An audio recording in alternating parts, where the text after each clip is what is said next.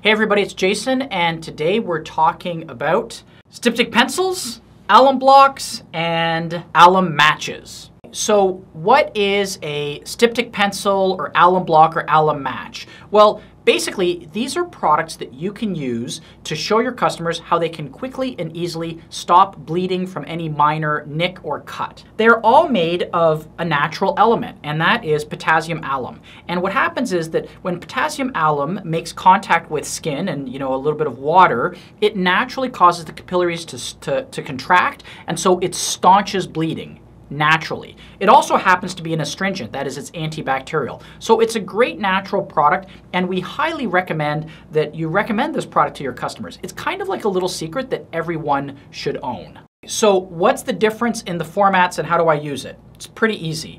Um, the most traditional format is known as the styptic pencil. We have a very nice one from Vie-Long here, and you basically have it. So the deal is, if you have a nick or cut, I have a mole, I nick myself every once in a while. All you do is either with a bit of water or just from the blood, you just apply it and it's gonna seal that cut right away. The second format is the uh, alum block. So this is a larger block, beautiful block from Osma of France. It has this fantastic French packaging, really classic. I love this product. Again, a larger block. One of the other advantages is you can technically use these products as a natural antiperspirant. So if you put it under your arms, technically it will reduce perspiration. And often that's why somebody might use a larger block.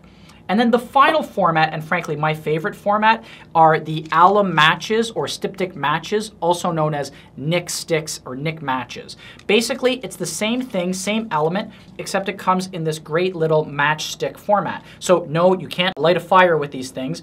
They look like matchsticks, but they're not. They're just the alum. So the deal basically is that you would just take this, and the nice thing about it is you would just apply it to a nick and cut.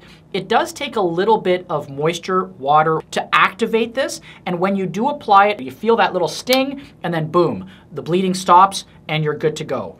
I highly recommend all of these products. The Rockwell one has the real advantage though, because it is in this, this matchstick format, it can basically be used very hygienically, so when you finish with it, you can just easily dispose of it. So again, three different options, highly recommended. That's it. Thanks for watching.